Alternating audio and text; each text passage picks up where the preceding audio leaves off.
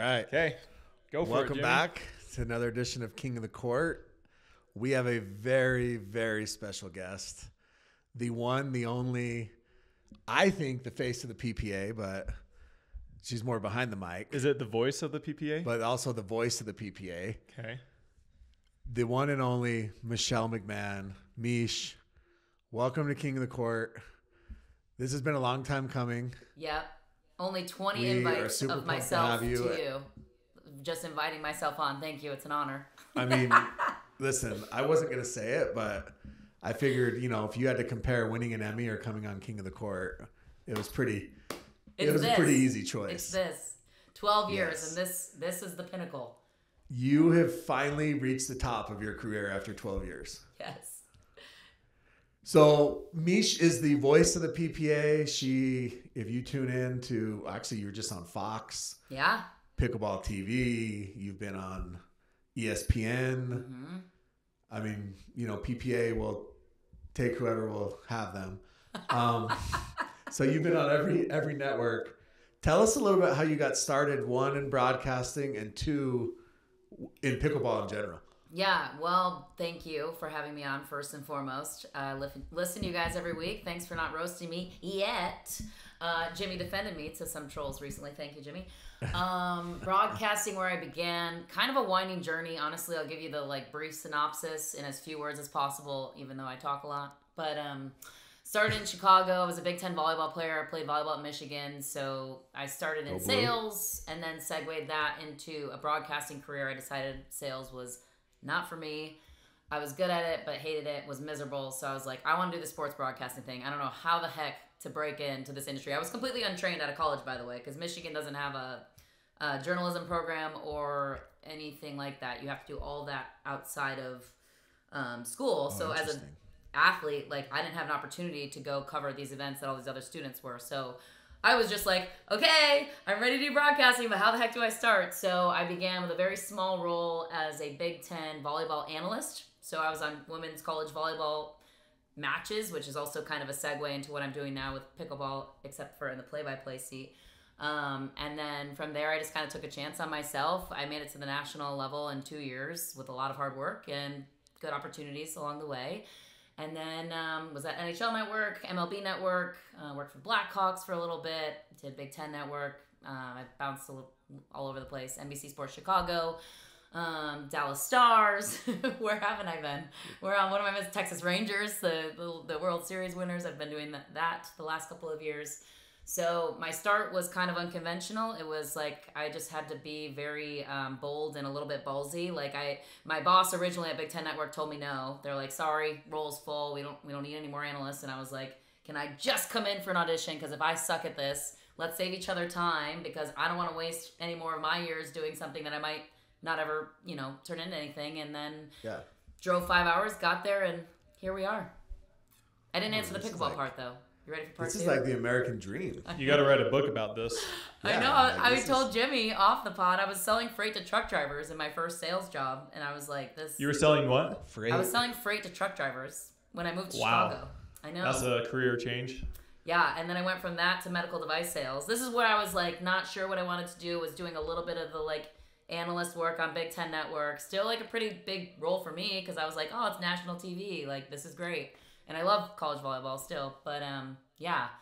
So pickleball.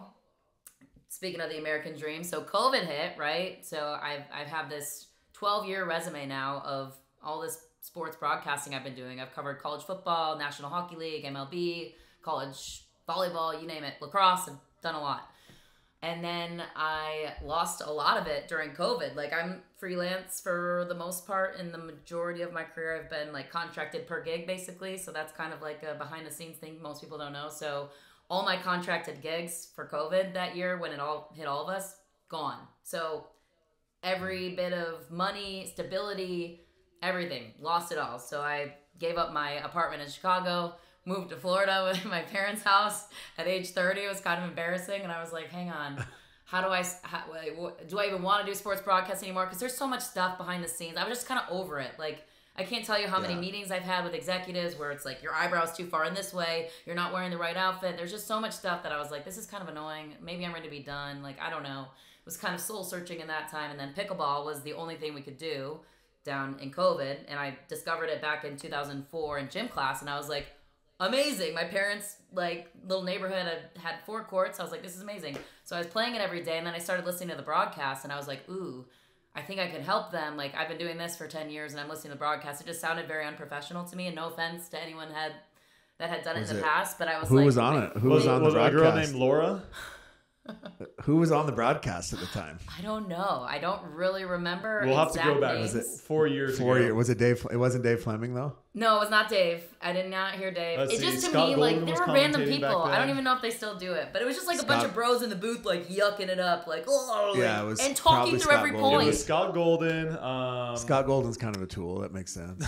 I don't know, and He's- I feel a nice bad. I mean, Jimmy. it, it just like it wasn't polished, right? Like, so my ears maybe are different from an average pickleball fan. Like to me, it's annoying to listen to a broadcast where it's where there's zero structure or, you know, the, don't the don't ever listen to me template, comment, if you will. commentate on grandstand. Have you heard Jimmy commentate?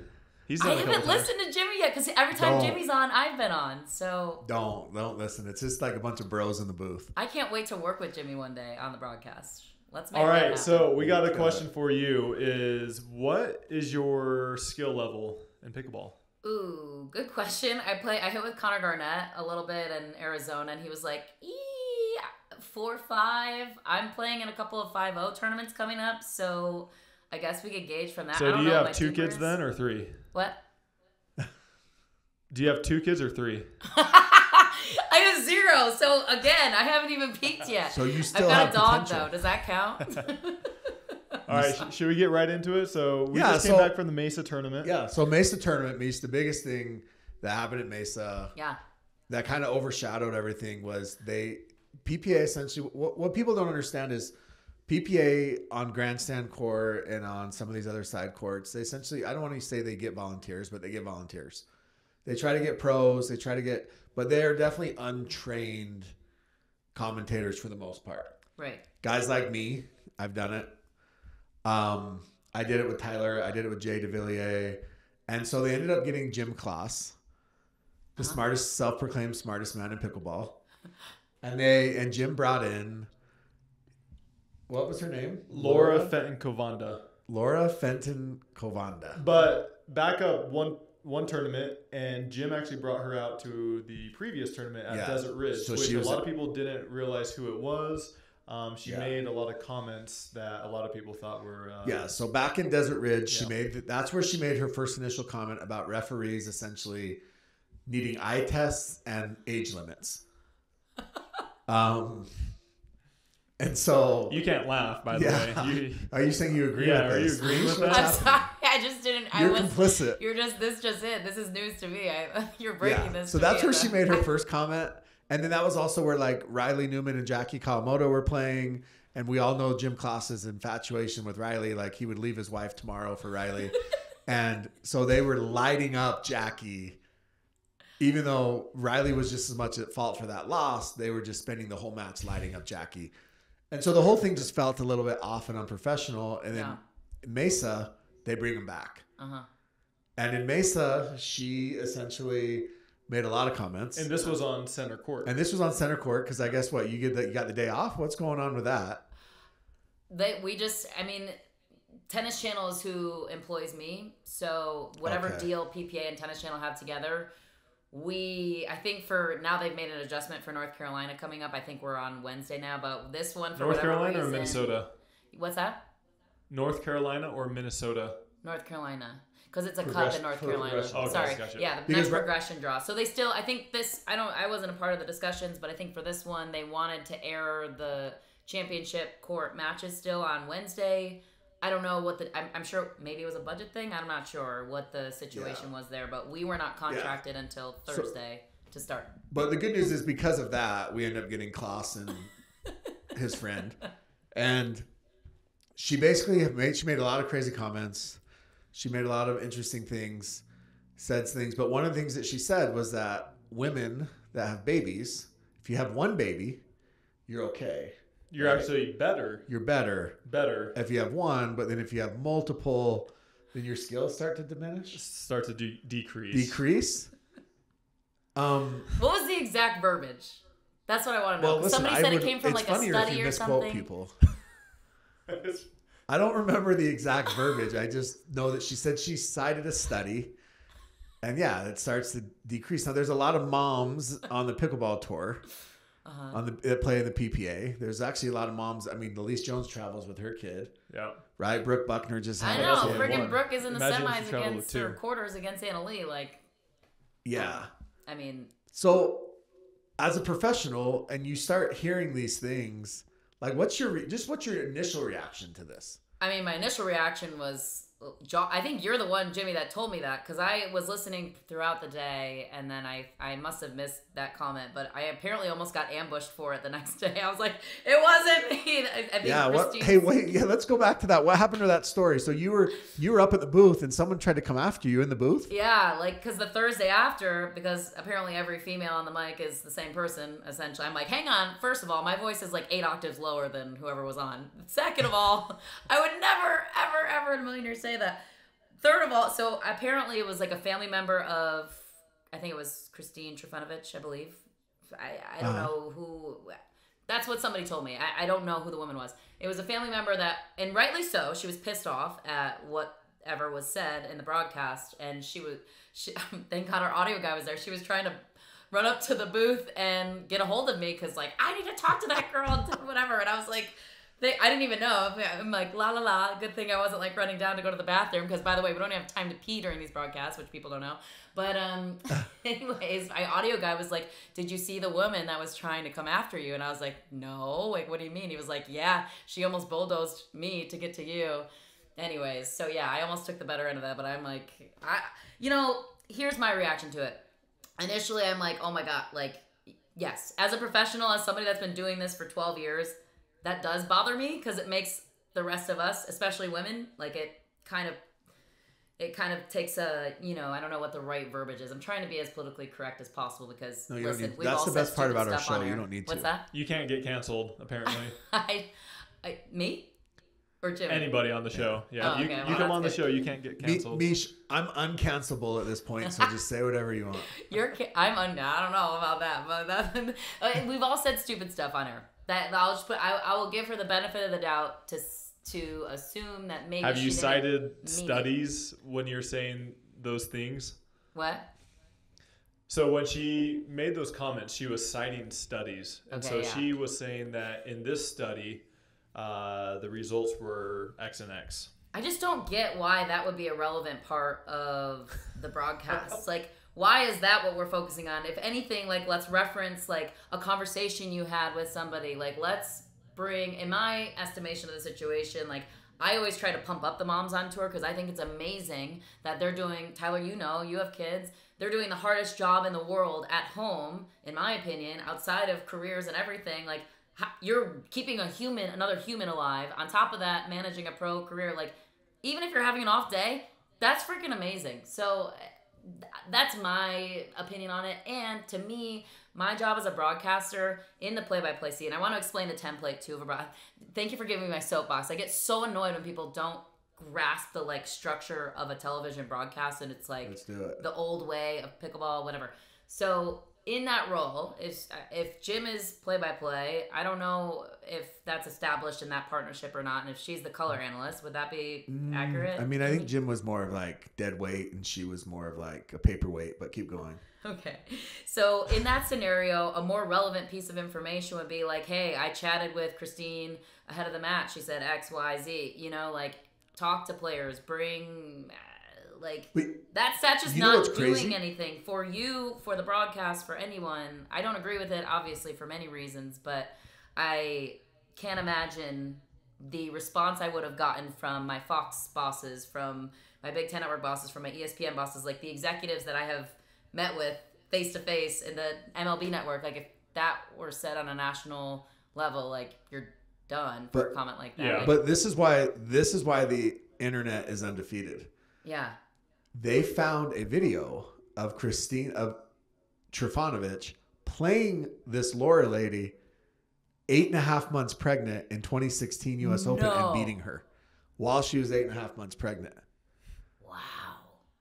So maybe there's still like some bitter feelings still there, or The irony. I But don't know. Christine I took just it don't to her get while it. she I'm was like, that just like if it's not going to add to the moment or the like, why? Like, I don't know. I don't know what that what but the why not? Why not bring up that story? Why not be like, hey, I actually have a history with Christine. We played together, Right. and you know what was amazing is she was pregnant, and you know actually was able to beat me at the U.S. Open. Like, And maybe she was trying to justify her career trajectory or something. I don't know if she's had more than yeah, or maybe she was better than her when she was pregnant with one kid, but then when she had the second, that's when it went downhill. I don't know, and I, you know what? Like, I'm not gonna shame anyone for anything because I get it. Like, I, you know, but my advice would be to uh, filter yourself a little bit more on air. And to be fair, pickleball's been brought up in the old way of doing things, where it's just like throw two people in and let them fly, and there's no structure. There's no like, um, you know, education before. Like anyone that i work with in the booth like i try to just give them as much information as i know in a small amount of time of like okay i've sat in your seat before. Here's how it works. Like the play by play and this is not a way i mean dave is awesome because he can do both but he he will notice when he's working with somebody like adam or another analyst he steps more into the play by play seat. So let's think about this. Take everybody to, to school here for a moment. Nfl Love golf what's your favorite sport tyler what, what do you love to watch Basketball. NBA.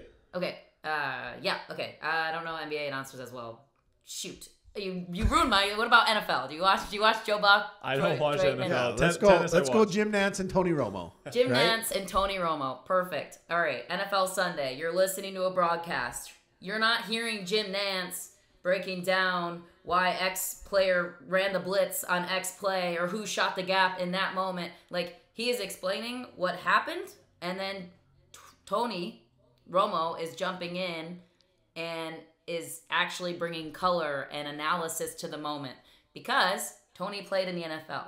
That's his role. He's the his job is to bring education to something we don't know. The play-by-play's role is to be the traffic cop. So like what people don't know behind the scenes is we have headsets on obviously.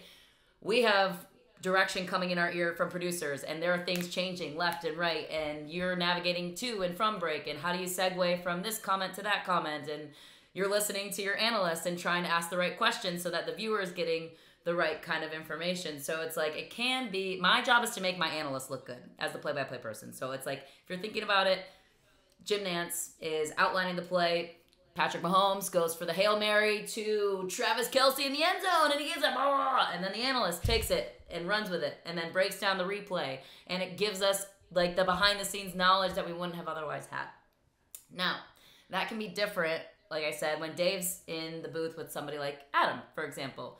Dave is more of that bring us back from break, set up Adam. Why would that player be doing that? Adam has recent relevant knowledge of all of these pros. He played against them. So that's Adam's role. Adam should be the star of the show. We're just kind of like the setup guys. And it really drives me nuts when people, I'm like, I get trolled, whatever, I don't care. There's so much positivity too, but like the trolls, I'm like, at least get it right. Like, I don't care if you don't like me or my style or my voice or my hair or whatever the frick you don't like, but like, don't nitpick the structure of a broadcast because that's how it works in every sport. It's so annoying. I don't know. Anyways, I try to defer to like, I always try to defer to my analysts. I try to ask good questions. I try to not talk. Like, you'll hear me lay out sometimes for four points at a time, and I'm not perfect at it, and I'm not saying I'm the best ever, but like, I've been, I think I'm the longest tenured broadcast person in, like with the PPA or with pickleball. And that was one of the reasons I wanted to do pickleball because I love it. It brings me joy, but I'm also like, I think if you compare our broadcast now to what it is, to what it was four years ago, I think you'd be very happy with the Baldwin. strides that we've taken because it used to be hard to listen to, but maybe that was just my opinion. So Okay, thank Okay. you. Thank you for coming to my TED Talk. yes, love it. Thank you for coming to. Did- was that Love the speech. informative? Was that Talk. informative? Did you get that? Yes, th- Okay. yes. I think that's important. So, so when you have these amateurs that come on, I mean, they one they obviously they don't have a lot of structure. They don't know how these things work, Right. right? They don't know whose role is what. But I have gone on there, and Dave has given me two rules. Okay, and his two rules are one, don't talk during the point, Uh huh. And two, don't swear. Okay. Those are the rules that Dave always gives me. Um, but what do you think about people that say that like pickleball is? I mean, it's, it is, hard, to commentate on pickleball because the points. There's not a lot of time between points. Number one. Yeah. And so you've got to break down that point or talk about that point without talking during the point, Yeah. right? Like, Mhm. and so how do we make that more exciting? I guess from from your perspective. Yeah, that's a really good question. I used to deal with the same thing with uh, Q Tim Park trolling me, but the uh, volleyball same concept. Like when I was in the analyst seat for volleyball, you have two seconds to explain it. But if you're economical with your words and you're thinking ahead of the point, like what I usually try to do as an in the analyst seat of like, okay, I'm watching everything throughout that point. And if I see something that the average viewer wouldn't pick up, that's what I'm bookmarking in my mind. So if the point ends and I'm like, okay, I want to go back to that, and once the broadcast starts to evolve too, and we can hit talk back and be like, save that replay. I want to break down that play. Like we're not quite there yet with our production, which I think it will get Yeah. there eventually.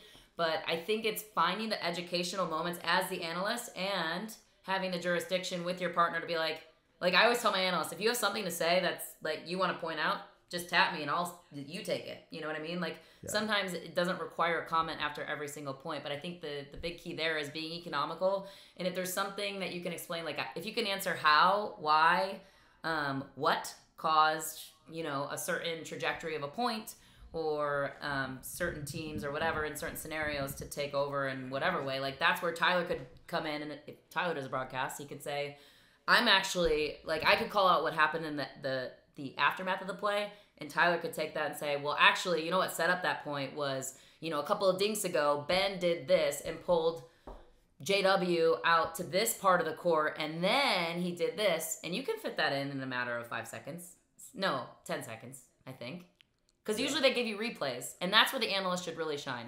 Because once you see a replay, they're showing you something, some part of the point. Like you should be in the teaching mindset, and that's why I feel like the analyst should be the one shining the most in a broadcast because you're the expert. Like we are looking to you for information. And Jimmy, you watch more pickleball than anyone. Like so, you just constantly racking your brain around the questions: how, why, what caused that, so you can make it a teachable moment. I think that makes it more interesting to talk about as the play-by-play, but then also for the viewer back home to be like, huh, I didn't know that, and I'm gonna apply that to my game now. So I think that's that's the key there. But you have to. It's an art. Like you have to learn how to use your words in a more condensed amount of Yeah. you know you got economical with your words i guess is the best way to say it same with asking questions oh i have so many pet peeves about the way people ask questions that are untrained we can get to that whenever Well, you're getting that right now. okay Um, question for you: um, What are your thoughts? So PPA this year has kind of transitioned into progression draws tournaments, Mm-hmm. so where they play uh, one round each day of each event. What are your thoughts on that as a commentator? oh my god i love it i love it because as the sport grows right like we don't have a ton of information on you guys like you've been around for a while tyler like we can access you pretty easily but some of Like these you don't have an SID, right? No. Like so to speak. Yeah, exactly. So sometimes, like that's the hardest part, especially when you're on the morning shift. When you have uh, like a Casey Campbell, for example, great example, like somebody that soared through the draw. Like, how would I have information handy on a guy unless I've played with him, or you know, unless I've really been like studying all sorts. Like, there's no way to really get a grasp on the players unless you already have a name to yourself, right? So um, the progression draws give us so much more leeway with preparation. Like I can reach out if I know Tyler's match is on center, I can try and find him before a match. I can reach out to Jimmy, say, "Hey, do you know anything about X, Y, Z? This player, I have nothing on him." And half the time, these people don't even have Instagrams where it's like there's notable information. So Yep. we're completely self-reliant on like our own due diligence and that's something i'm trying to even expand this year because the better you have those relationships with those players the better we can do our jobs and i think the players should start using us as their mouthpieces like you guys are building up your brands you're doing business stuff uh, like outside of the sport use the media to your advantage like if there's something going on in your world your life or whatever or sponsorship anything you want out there like I wish more players would come to us with information. Or if you're an unknown person and you know you're coming up on center, shoot an Instagram message or a text or something. Like I wish there was a channel of communication that could happen. So it's because half the time we're like, like a- blind. But yes, sorry, I love the What, progression. what if they did something like a like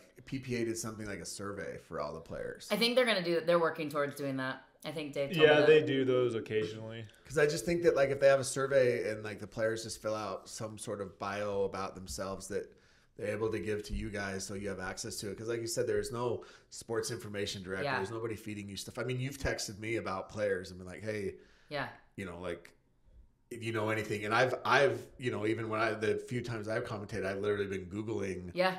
players, like, you know, Sometimes you don't even know what they trying to look find like. out where do they play in college, where do they do tennis. Yeah, like it's crazy. Yeah, I'm like, who, who, which one is which? Like, who, like, uh, when Yeah. it's not a progression draw, I'm like, I don't even, I've never seen these people in my life. I've never heard of them. Like, w- Yeah. which, which guy And, is, and sometimes you know? you'll you'll Google them and there's no picture. yes. And yeah. you'll get like USTA ranked 1,236. They went one and one, and that's it. Yeah. And you're like, this tells me nothing. This I gives me know. no info. I I don't even know know. where this person's from. I don't know how old they are. Like it's crazy. when they started, where they found the sport, like yeah, Yeah. and those are things Yeah, I think that will start to get buttoned up as we. I mean, it's it's still a startup. Let's be honest. Like they're it's, and I came from the hockey, MLB, all that stuff. Like this stuff is spoon fed to you. Like you have every stat you need on every single player. You have their bio notes. You have access. You have like there's a whole PR team designated to just the information side of it. So that's definitely a challenge. I don't think people realize coming into it is bridging that gap will be super helpful in the future to have more interesting talking points and to ask the right questions in the interviews and um, so as we continue to grow. But it's a fun challenge right? So it's like okay well and if you cover enough pickleball you'll eventually start seeing pretty common names. But the early parts of the draw are tough because there are some no-namers that are emerging or just came out of nowhere you know? So it's it's tough do, do you have a favorite person to interview after a match? Ooh, good question. Um I really like Tyson McGuffin because he gives he actually answers the question insightfully. Friend of the show. That's our favorite guy. I know. Jimmy's I don't favorite guy. care. I don't care that you. I don't care where you guys stand on that. This is see. I'm honest too. I'm a straight shooter. Big friend I'm of a the straight show. shooter. I'll straight We shoot love you it. all day. Big fan of the show. As long as you have a conversation with me to my face, I don't care if I get called out. But like, We're, let's talk we're about going it. to get him on the show. We're going We to have actually him do. sit we actually here. do want to have him come on. What's that? Good. Uh, we actually, we really do. Get the We'd man a mic. Let I him don't want to do defend it like this. I don't want to do it over Zoom. I want him in person. Okay. Uh, well, he's great for the sport. He really is. Like he Yeah, he gives good sure. answers. He doesn't shield information from us. Like he's entertaining. I I he's I always know I'm gonna get a pretty good soundbite out of Tyson. Like the worst as an interviewer is when you're like, oh good, I'm gonna go. I could literally in hockey they're the worst. Oh my god, I could tell you. I could tell you what a hockey player is going to tell me at the first intermission right now if you tell me what the situation is. Like, oh yeah, good gaps, take away time and space, and uh, yeah, the boys did great out there. That was a really good, uh, yeah, really good first period. I got to go out there and you know, uh, yeah, just it. Anyways, so the worst is when you know when you ask a question and you could literally ask them what they have for lunch that day, and they're going to be like, uh, well, you know, it So- was just another uh, good. Uh, Pickleball, we really solid dinks, whatever. It's like okay, obviously So, people uh, watch like. the, so who's you the worst? yeah, and what'd you say? So who's the worst then? Oh, that you can't do me like that. Let's see, who's the worst? Hmm. Who need? Who needs? Do you think that pro? How about this? I'm going to give you an out. Do you think pro pickleball players need media training? Yeah, hundred percent. I'm like, I've literally, I've said this so many times. I'm like, God, I wish I could just like talk to them and give them my insight of like, this is the kind of question that's coming. Here's a way to like make something out of nothing. If a terrible interview question comes your way, here's a way to make it something that makes you look good because you're representing yourself in that moment. It's like, and it's nerve wracking. It's mm. public speaking. So I think there are a lot of people that are not necessarily comfortable with that skill set, but at least if they know kind of what's coming and I can give them like the heads up of like, hey, as somebody that's been doing this for 12 years, here's what I would ask you in this moment. Um, I actually did a little bit of training with some players I don't know if they want it out there publicly, but so I won't say their Like, names. there's no way that there's no way Anna Leigh has not had media training. Uh, honestly, I, I for her polished. age, Anna Leigh does an excellent job, in my opinion, on Well, I handling mean, she a has lot so of. much experience. At But that's what I'm 17 saying, years she's old, so like I couldn't speak. But that's because she camera. wins every single tournament. What's yeah, I mean, I I mean, she's going. And I think I want to say somebody somebody on our production side gave her one tip on like looking at the cameras a different way. I mean, it's hard too with a headset. There's no human down there. You're like talking to a robot essentially. But um, I think she does a really good job at 17 years old. Like, what was I doing at 17? Nothing. Not talking in interviews after winning every single tournament in a pro sport. So, no, I think she's pretty good. I'll I'll I'll say I would love for Ben and Collin to get more personality in their interviews, and I the, I'm close with these guys. That so is a I think I personality. can say it That's without as, them getting that's mad at me. much as you get with those two. I I like and like this last one on, on the well, it wasn't on the Fox broadcast. It was on the um, Pickleball TV with Ben. There was a little personality in there, but you have to ask as the interviewer. You have to ask the right question. So to me, Ben's actually a pretty funny guy. Ben, I know, I know, he's so funny. Yeah. So if you ask it in a way where you like, I think can get more of a. I mean, if you give him a layup question, he's or a t-ball. What is it? Give, give him a question on a tee. He's gonna Softball. say you know the right things. But if you kind of like, I think the last one I asked him about, it was like seven nothing, and he roared to the crowd or whatever, and then he gave a smile and like an actually engaging answer. But so I think that's also on the interviewer to ask better questions to get better answers out of their interview subjects. But they're they are both so What- funny. I'm like, give me that events- personality on air. Like, come on. That that's my we had that's been my we goal. had been on the pod, and I think we got a lot out of him. Yeah. Yeah. Yeah, he was he's he coming was up. Very he, was, he was eating his cereal. He literally no, he was eating salmon. He was eating salmon while he was talking to us, which was weird. But This is Ben. yeah, and he like his hair guy. was all disheveled. He looked like he just got out of bed. And but he was very engaging, and he was actually funny and showed personality. Yes, and he's so funny. He's very witty Yeah, and very so- funny. He's like a he's like an old man in a 24 year old's body. yes, Not- oh, he's very he, very old soul. He's sure. the oldest soul, oldest. Yeah, yeah. it's so funny. like he listens to Frank Sinatra and Tony Bennett, and yes, yeah, watches Price is Right and Yes. Jeopardy for sure. I'm like, I think you've like lived life before. It seems like Yeah. you've been here before, Ben. He's just Hundred like an old soul. He plays He's an old bingo man. on Friday nights at 4 p.m. Uh, do you have a preference for events, singles, doubles, or mixed doubles that you enjoy commentating?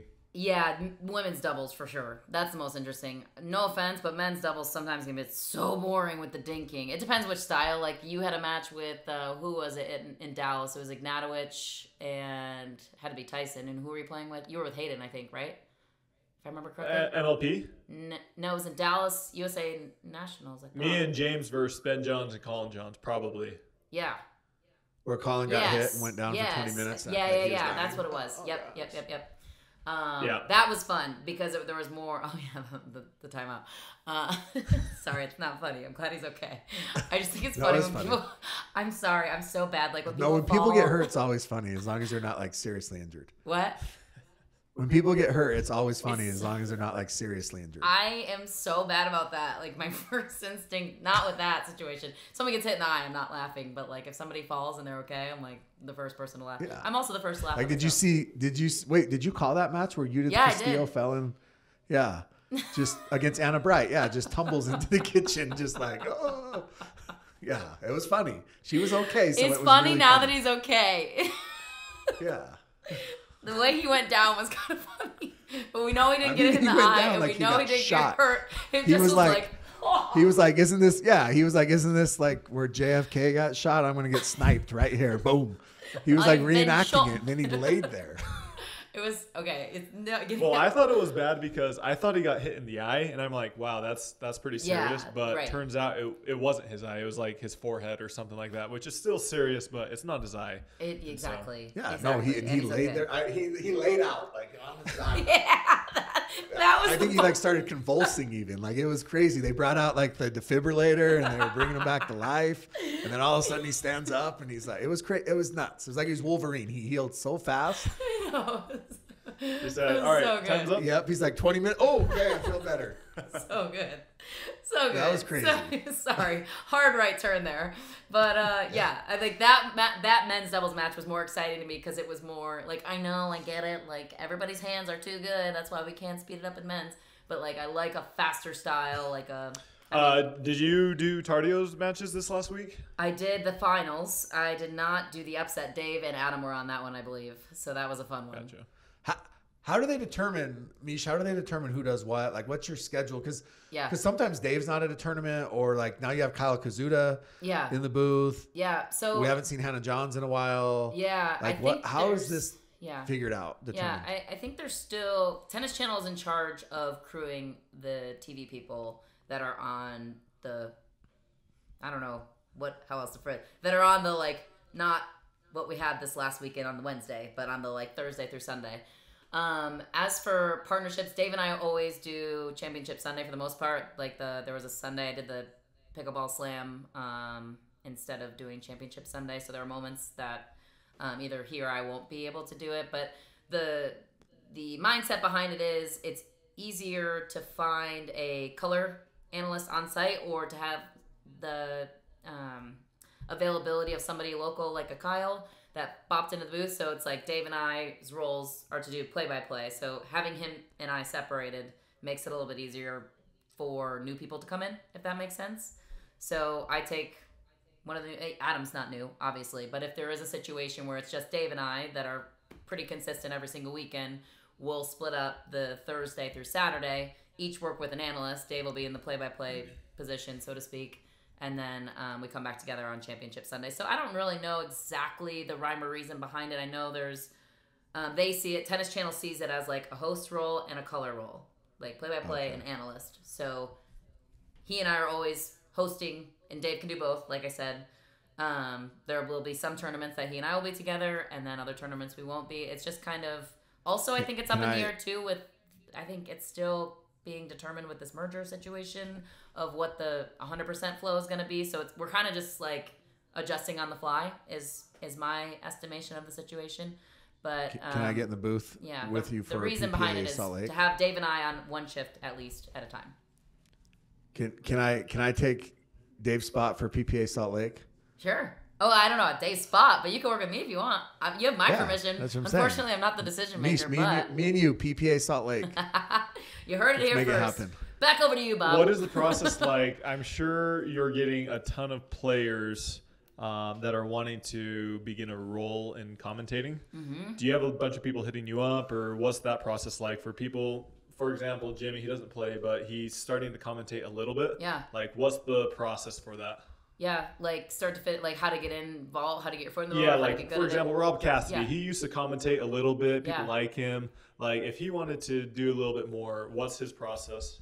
Um, yeah. Well, I I don't know who the right people to talk to in terms of getting the opportunities, but I think the best way to go about like that role and mastering that role is to watch other sports, watch how the color analyst gets into the broadcast, explains certain NBA, NFL, college football, whatever your sport is, watch how the structure of the broadcast is executed because that's the same formula across all sports. So that's where I would start. Um, you know, I, I like working with new color people because I like to kind of give them the template of like, okay, I'm going to be the what person. I'm to explain, I'm going to outline the sketch of what's happening. Your job is the how and the why. Like, you're the expert. So, like, if there are talking points ahead of the match, like, I would tell my color analyst to say, okay, pick three things you're looking for on both sides. And then during a break, there's often not times to do that. Um, so, one, I would tell them to watch other national network broadcasts just to see what that role looks like and then mimic that with pickleball.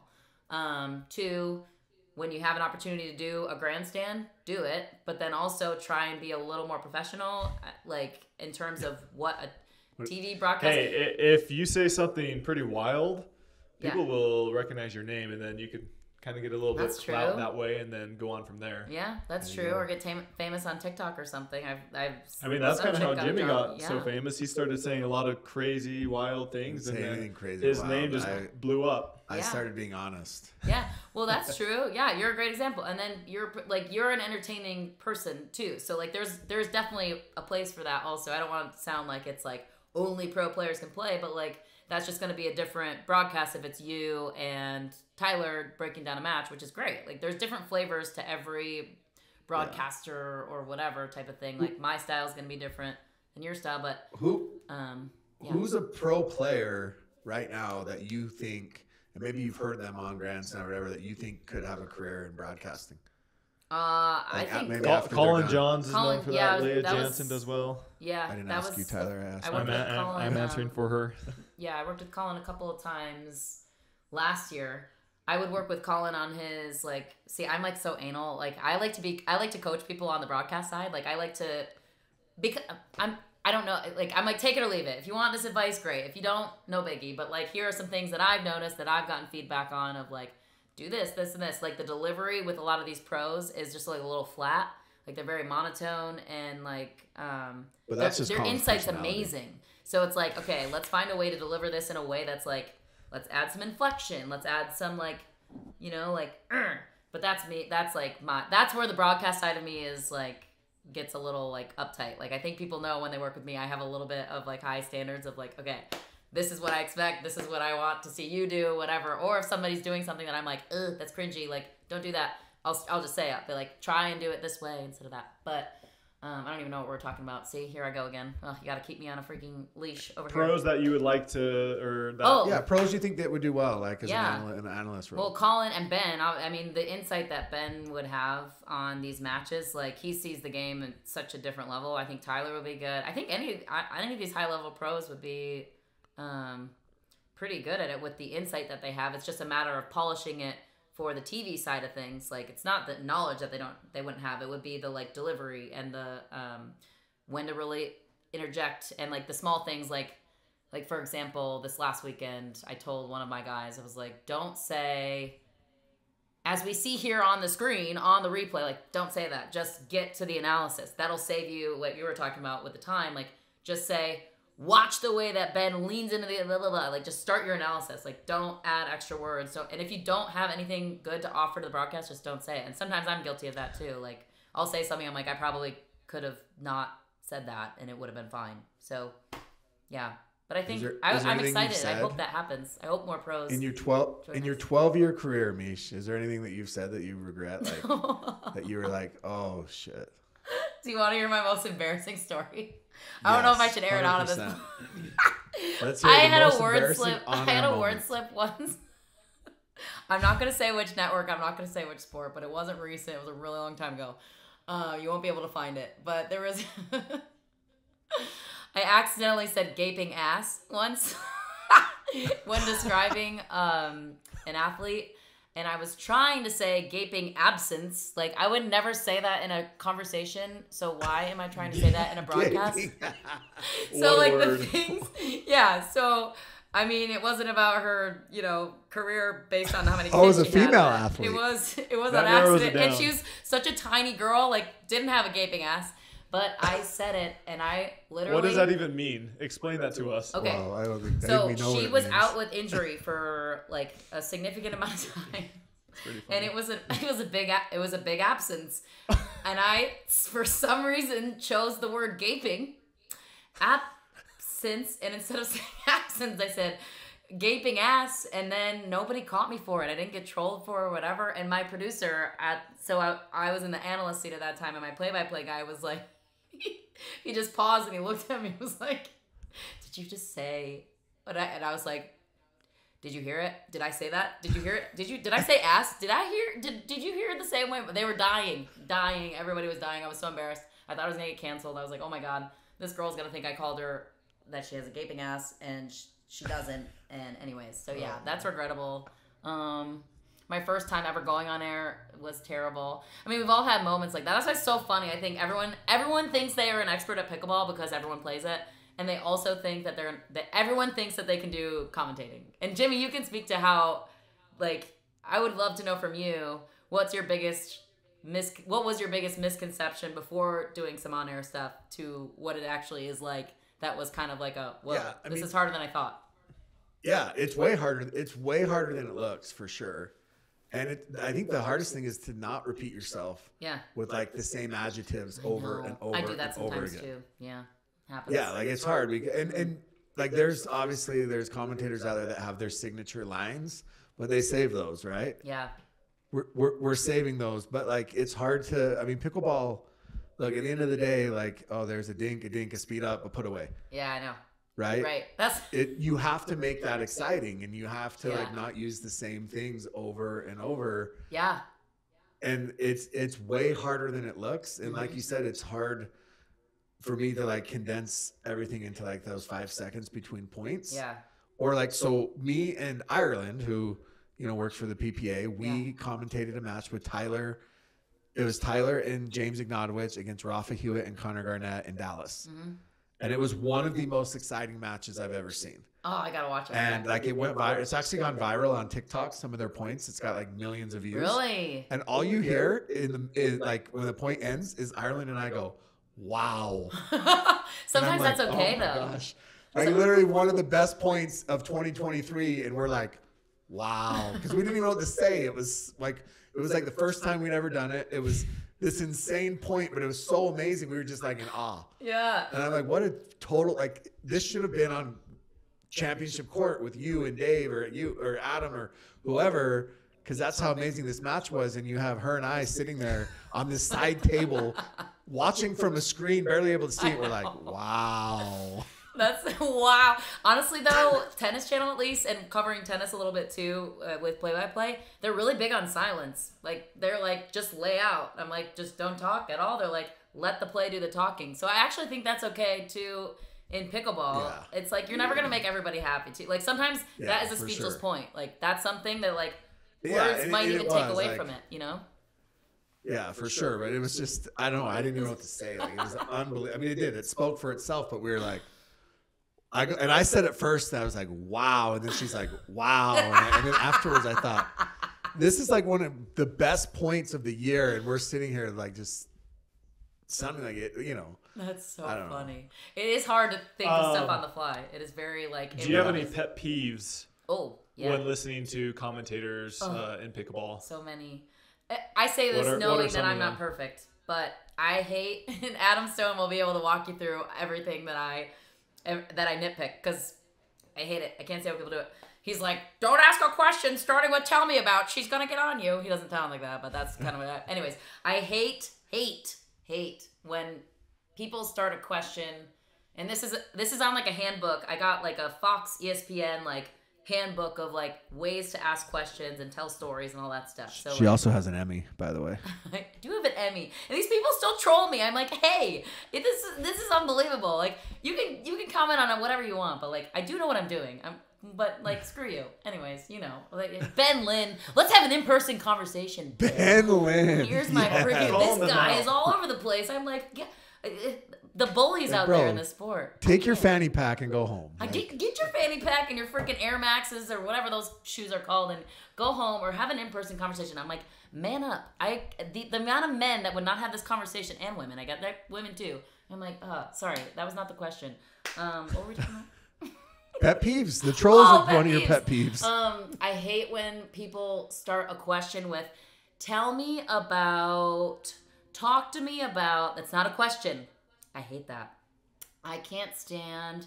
So what would you say instead of that? Can you break you down? would say, uh, like, give me an give me an example, and I'll tell you how I'd ask the question. Like, give me a point example of what just happened. Like, who's like what what um. Tell tell me about your childhood.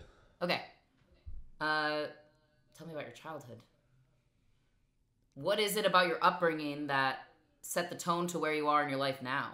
Because that That's so an much longer, actual question. Oh, like that's better, then you can you like that. Tell me about is not a question, and it's journalistically incorrect. So like, is it the worst thing in the world? Probably not. If you're saying tell me about your childhood, that's like okay. Maybe whatever, but if it's about a Give match, me the like, breakdown tell me about your mom- your dinking at the kitchen. You're It's like, like, where do you go with that? Like, what Yeah, was it about your dinking that set you up for success? And leave it at that. Like seven words or less Yeah. if you can. Yeah. And I'm not Or good like- at this either sometimes. Yeah, or like break down how your parents beating you from nine to fourteen Yeah. made you the man you are today. Or if we're talking to trolls, who hurt you as a child that you are not projecting this onto me on social media? Some innocent lady that's just trying to live her life in pickleball with all of you people. Like, They haven't been hugged enough. They were not hugged enough. Ben Lynn has not been hugged enough. Freaking Ben Lynn. Who's the other one? There's one other. I went in the chat section one time and I was like, oh, oh god, don't do I am never going back. It's The- when they the tweet me chats in directly the that really comments- pisses me off. I'm Chats like, in the comments are like literally the worst people. there's literally. I'm like, I want to know where these people come from. Like, I need to like the psychology behind these people doesn't make sense. The Like, gutter. first of all, get out of your sewer. mom's They have basement. nothing better to do. They clearly don't have jobs because they're watching at two o'clock on a Wednesday. Exactly, exactly, exactly. There's a lot of people that don't have jobs. They, They're always I like, mean- "Oh, Misha's the worst. Oh, she doesn't know. She doesn't know pickleball." I'm like, "What is there to know about pickleball?" I'm sorry. Wait a second. I'm sorry. It's not that advanced stra- of a strategy sport. Like Tyler, you can back me up on this. There are like nuances. You're going to get where- roasted right now for that. How can you not know pickleball? Like, also, I've been playing since 2005. Like, okay, like it's just like gym class. Niche used to play in gym class. I what? Yeah, I used to play in gym class. I was like sweaty. I had like a whole sweatband. I was like on championship court with the boys. King of the court, by the way, in gym class. I used to beat the boys in badminton and pickleball. They get big in deal. OG. Not to mention. Hmm? Well, at least maybe Laura will get these trolls off my back now that. You know, Yeah, they I'm like, you could Laura have it worse. You could have it worse. We could be talking about children and declining careers. Okay. Not to Imagine mention. if a male commentator said that though. Those Like, comments. like oh, would Oh, that would have been would- bad. if- that would have been worse if, if Adam said Stone made those comments, not to put words in his mouth, because his wife just had a beautiful baby, he would not be back this week. No. I'd assume. No, I don't think so. No, I think it'd be way worse for a guy to say it. I, mean, the fact I that she need to played give while credit. pregnant gives her, I guess, a little bit. It's not like Yeah. she's. But, I don't know. But I think we do need to give a little bit of credit to the PPA for acting so swiftly on it. I felt like Connor was all over it on Yeah. every forum, Well, he and has he kids like too. removed her, got rid of her. yeah. But, I don't know if you did. You see her apology? No, I didn't. What did it say? Well, it was 18 pages long, number one. But then it said she said she was qualified, and she started laying out all the reasons she was qualified to say the things she did. And one of the things she said, and I swear on everything, she said, "I was the a free throw champion. I hit 96 out of 100 free throws." No. Yes. First, Now, that's pretty 96 out of impressive. 100 is It's impressive. true. Like, I got to give her credit. Qualified. I mean, Check that's mark. I mean that's With Steph how many Curry. kids at the time? Zero. yeah, exactly. I think she only had one because if she had a second, her career would have been ruined. But so she stopped at one. I don't understand. I But think you she just said own she it. hit say I 96 shouldn't out have of said 100. it. I don't. E- even if it were true, but like clearly it's not. Brooke Buckner, perfect example. And like Johnny Yeah. gave me a little funny look when it was like one of the first things I said. But I'm like, I always talk about the moms and their kids. I try to because it's like she just had her baby literally two months ago, and she's on championship court playing Anna Leigh Waters. Like that is impressive. Yeah. Like she just pushed a baby out of her, and she's back on. You know, Wait, like what did she? Wait, what did she do? Brooke. I just those all those hand signals. I didn't know what was going on over there. very expressive talker. She had a Is baby. that how that works? She had a baby. I just learned about childbirth just now. I know. Uh, Have you? Can you imagine you gentlemen giving birth to a baby? No. It sounds. Well, Tyler said on our last episode he has such a high pain tolerance it wouldn't phase him. No I have a high pain way. tolerance. You're lying. I do have a high pain tolerance. okay, I'm sure you do. But if you talk to any woman that's given birth, they say it's the literally the worst pain in their entire life. I guess I didn't expect to go here today, but here we are. Uh, anyways. Love it. This is. This is what we do. We go off the rails. Yeah. Um, you're going to kill me. I messed up my body, so I have a doctor's appointment that I got to get Go. to. We should probably wrap it up. And it's been Um, so Oh, yeah, you we, do? we appreciate you coming on. Is there anything else you'd like to share with us about commentating? Mm, no, I just think like you know. So real, real quick, I don't know if you've been keeping track. This is kind of a weird question to ask, but Yeah. do you know how many tournaments you've been to consecutively Ooh. without missing a tournament? Good question. I haven't missed one since all last year because I last year I was juggling like four four major sports in one year, so it was kind of a lot. I was doing hockey, then baseball, then. So we, we talked to DJ Selkirk this morning, Yeah. and he said he went to 50 5-0 tournaments in a row without missing Whoa. one.